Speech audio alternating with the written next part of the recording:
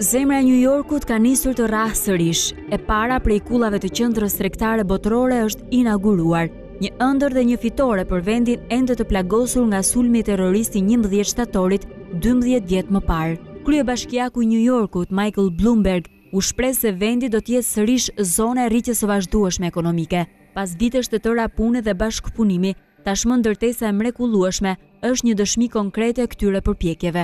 Kulla numër katër është inaguruar një ditë pas lajmërimit se Freedom Tower, kulla numri një e kompleksit të rinovuar në Manhattan, është grataçela më e lartë në botë ende në fazë kompletimi. Është pikërisht Freedom Tower që me formën e saj ka frymëzuar dhe grataçelën e sapo inaguruar, e lartë rreth 300 metra dhe me 72 kate.